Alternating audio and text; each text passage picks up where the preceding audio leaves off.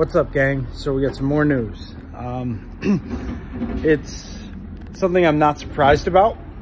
I don't think any of us will be surprised about, but it's uh, it's it's some news. So, like I said, it's my duty to get it to you guys, and that's what I'm gonna do. So, before I get into it, if you like that, uh, like this channel, like the content, please hit the bell icon notification button. Uh, the you know like and subscribe buttons too. It's greatly appreciated, extremely helpful for the channel. And I really enjoy getting into conversations with you guys, as well as I don't want you to miss out, and I want you to be the first to know when I put something out. So let's get into it. So, the Chicago White Sox have already traded left-handed relief pitcher Aaron Bummer to um, the Atlanta Braves last night in a six-player deal, and now they are fielding offers and fielding interest on on uh, Eloy Jimenez, uh, who is their one of their big bats.